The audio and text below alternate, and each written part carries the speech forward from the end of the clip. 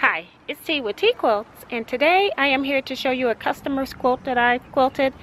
I must say that the month of November and December I haven't recorded much of my completed projects. I've been working on uh, blocks in progress, working on the Bonnie Hunter mystery, working on the four star generals, quilts and uh, hopefully I'll be adding some photos of that into this video whenever it uploads. uh, today is actually January 7th and uh, I just wanted to show you this quilt before I give it back to my customer. So let me walk around my deck so I can show it to you.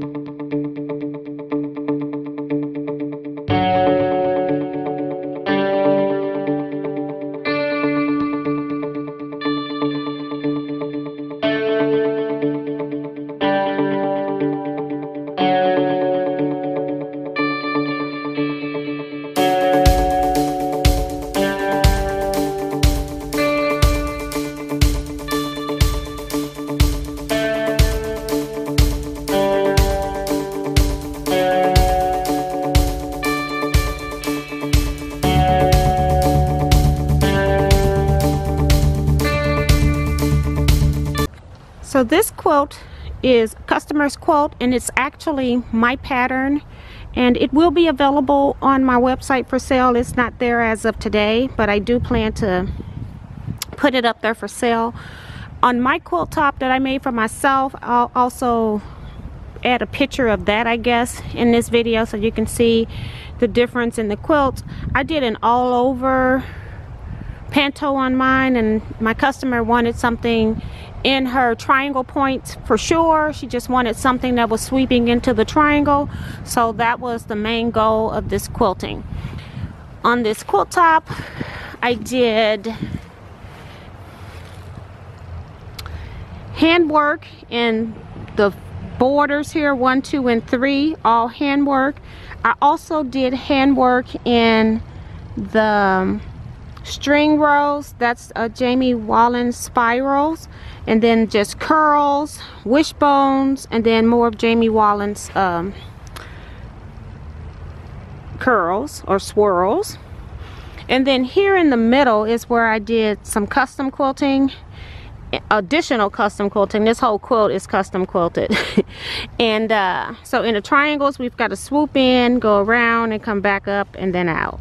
Go up down round and out and back down and then in the four patch it's kind of like a wishbone design but they're sitting on top of each other like a figure eight. So that's what I quilted with. She requested this aqua tealish thread color which is also what she has on the back of the quilt here. So just trying to let you all see some of it on the back here and uh, I did not stitch in the ditch. I figured if the customer wanted that she could easily do that on her home machine. Um, I've worked on this quilt for since Sunday and today is Friday. And I put in quite a few hours on this quilt top. So yes quilt is done. I'm very pleased with it. I do have like some start and stop areas you can see but um, I don't know why. I haven't figured out how to not have that happen. I don't know if my quilt's too tight or what but seems like every time I roll and I go back to start it jumps even when I have the needle down. So looking for some help with that. Also I have done a butler video on how to do this point to point in butler. And point to point when you have a complete block and also as you can see down here when you have a partial block like this triangle shape here and then you need to have part of that shape in the final triangle. I do that as well in the butler video. So I'll link all of that up at the eye above. I'll also give you all a link to where you can purchase this pattern if you're also interested in that. Um, I'm glad this is done. So now I can go figure out how I'm going to price this and uh, get it back to my customer. Talk to you all later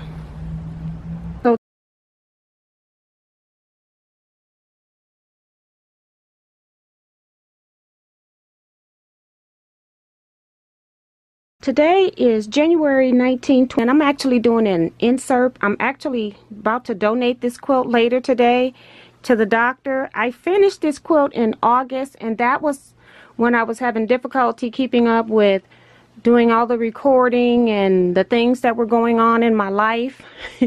and I just realized that I never even videotaped the completed quilt. So I am sure that there are many things that I have completed that I have not videotaped or taken a picture of. And I know I've made probably since August at least 30 to 40 t-shirts that I have not even documented with one photo. So I just wanted to come in, put a quick picture up here. It's not going to be able to go out on the deck, but I did want to document that I finished this quilt. I think I started this quilt in the live on July 3rd, and I sewed for three weeks, and then I quilted it after that in September but I never got it done. And then I meant to give it to the doctor for, it's, um, I meant to give it to the doctor that I made this quilt for. It's for a family member. They did some services for a family member. And so I meant to give this doctor this quilt. And then I forgot to take it to the appointment. And we had been going to this doctor like every week or every other week. And then all of a sudden they said, we won't see you until January. And it's like, oh my God. So, and I just didn't ever get around to taking the quilt up to the office. But it's nice that we'll get to drop this off tomorrow at the doctor's appointment. I mean, whether today, because it's like, you know, I don't sleep. It's 4 a.m. so it'll be uh, later today. And, um, we're going to drop this off today, but I just wanted to come in and show you that I did get it quilted. And it's just with red thread on the back. I just have uh, blue fabric here that I used on the back. Very small label because I don't, you know, I didn't want to go overboard. But the um, information is done. It looks beautiful. I actually love this quilt. Hi Tea Quilters. Today is Tuesday, February 1st, 2022, and I am here to wrap up the January completions video for you of January 2022. And I have not recorded a whole lot. I know that I did a quilt for a customer, so that should have already been played for you guys. And I have been working on Bonnie Hunter's mystery quilt. I have completed, started and completed in the month of January a Take 5 kit and I'll show you that quilt. I've also completed in January the Scooch Over 2 and I'm going to show you that quilt. The quilt behind me is the Swap Block quilt from 2020 and I showed it to you where I said I needed to add just one more small border to make it get up to a queen size bed. So I have done that. So that's the only change here. I have pulled fabric so that I can start working on making a quilt backing. So that's what I'm stalling on. I'm quilting this now. It's ready for quilting. Um I can't remember what other projects I've started. I know I started one project. I'm not ready to share yet. I've just been in uh, the business of buying and selling African fabric and African kits. So if you're interested in purchasing African fabric, uh, yardage, half yards, or fat quarter bundles, please contact me. Also, I do have jelly rolls as well. I'm currently out of Take 5 kits. I just did a new purchase and I am going to cut new kits for a different quilt top. Take 5 kits will be back available at some point, just not right now, not in the next two or three months. So that's where we are on the Take 5 kits. I can put you on a wait list and if I ever get some time and I cut some Take 5 kits, I will do that for you. But do note that they're not on my immediate priority list. Um, my website is www.teaquilts.com. So guys, here is my uh, quilt top and I just have these items draped over the banister even though this one is touching a little bit. At least I'm working on this one. But I didn't want the quilts to get wet. It looks like it's kind of damp out here and um, it's about to snow. We're getting a blizzard tonight. And it's so funny because it's in the 50s right now. and not windy. It's been windy for days. So I just wanted to show you guys this. Um, let me show you the fabric. It's stars and I'm actually going to title this T-Quilt Stars. And so that's why I wanted to put the border on it with the stars. I originally wanted that to go in the rows where I have the black sashing. And I couldn't do that because of the blocks not being the correct size. So that's what's happening with this it's I'm making a quilt backing and when I get that done I will be loading this onto my long arm so here we're looking at Scooch Over 2 by Maple Island Quilt. That is the name of the quilt pattern.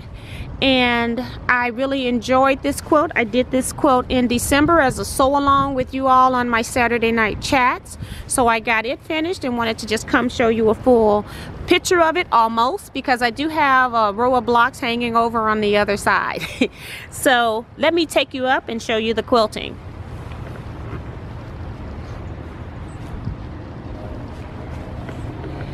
Um, of course, I'm not going to remember this quilting pattern name. I want to say it's bobbles or bubbles, but I'll make sure and try to remember to put it up on the screen. I wanted something that was geometric, but not too densely quilted since these are very large blocks and I felt like this really did it for me. I used gold thread on the backing, I just used a 108, nothing fancy. It had some geometric design in there as well. So I decided that that would be appropriate. And as you can see here, I put my binding on by machine. I just put it onto the front on my long arm and then I turn it to the back with an iron. I press it to the back and then I just stitch in the ditch here. And then I just stitch in the ditch here to get it to put that stitching on the back side but you hardly see it on the front. And of course you always have to have a label. And I'm calling this one Eye on Africa. Scooch over too. So very nice. And uh, just glad that I was able to do something on Saturday that was a quick project. All right guys this one has been the workhorse for me. I started this January 19th and actually finished it yesterday, January 31st. So, yeah, I the reason why it was a workhorse is because when you're videotaping particular segments of things, you're starting and stopping all the time. And so it took me way longer than it should have to make this quilt top. I again want to point out that I'm going to add some other pictures of the Take 5 from Francis Jackson who uploaded to Facebook as well as Kevin the Quilter's quilt. I'm going to add in to this video as well. This is what I was saying about a utilitarian style quilt where you just put everything together and it still turns into a beautiful piece of art because of all of the prints uh, going together. And because I used many prints not just five prints that are traditional in a take five quilt. And then I also added technically four borders. I've got a three-piece border made in purple. For some reason when I got through making this quilt top I saw a lot of purple for me. So I decided to use purple as my grounding color. It needed something in between the borders. And then use the scraps um, from cutting when I made all of the Take 5 kits I used scraps to make the string border. My quilting pattern on this is herringbone which is a template that I normally use for uh, t-shirt quilts. But since this was more of a utilitarian style quilt I felt like this herringbone would blend in as well as give it some texture where it needed. So you can barely see it in the piecing, which is what I wanted. And you see more of it actually in the solid prints. I mitered the corners on this. That's going to be in the border video, which I haven't uploaded yet. Uh, but hopefully I'll get that done before this video goes up. As you all know, I'm doing late uploads on videos. On the back, I'm gonna have to go up and turn this quilt to the back to show you the back because I did piece the back. Here is the back of my quilt top. I actually used a print that I ordered, one of my new prints I got in, ordered it for the back. Kevin and I both, it was Kevin's idea because I normally don't care about the backs of my quilts. so I ordered some extra fabric so we could have it for the back of our quilt top. So measuring my quilt top I was going to be short approximately 18 inches which is the size of these scooch over two blocks. And so I decided to use the leftover scooch over two blocks on the back of my take five quilt. And I was just a little bit short at the bottom so then when I mitered my corners I had these strings left so that is at the top and the bottom of the quilt, those strings, and then everything below it is at the other top of the quilt too. The black and white extra piece, I mean the brown and white extra pieces, the strings, and that piece of blue with brown. So let's go over here. I also have a label and I have titled my quilt African Royal Shuffle. All I have to do now is just hand sew the two sides of the label down. But technically it has a label, it's on the quilt. so I am done. So uh, that's going to finish this video. I will see you all in my next one. Take care everybody.